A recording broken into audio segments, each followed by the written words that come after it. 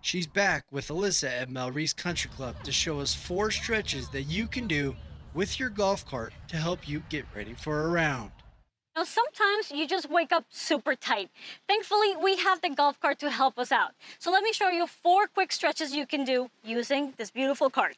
So we're gonna start with a nice lat stretch. So just hold on to the cart and I just want you to stick your butt back, let your head fall in between your arms and just let yourself go. You're gonna feel a deep stretch in the sides of your body. Now from here, you can go ahead and rotate from side to side, whatever feels good.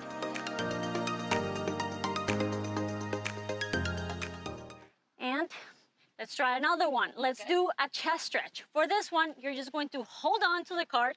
You're gonna uh-huh. rotate your entire body in the opposite direction. So you're gonna feel a deep stretch in your chest and the front of your shoulder. Make sure you repeat it on the opposite side.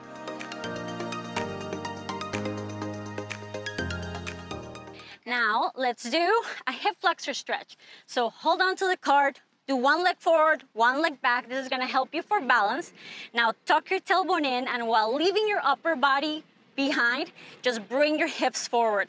This is going to help you stretch out your hip flexor, which is located in the front of your hip and your quad. Make sure you also repeat it on the opposite side.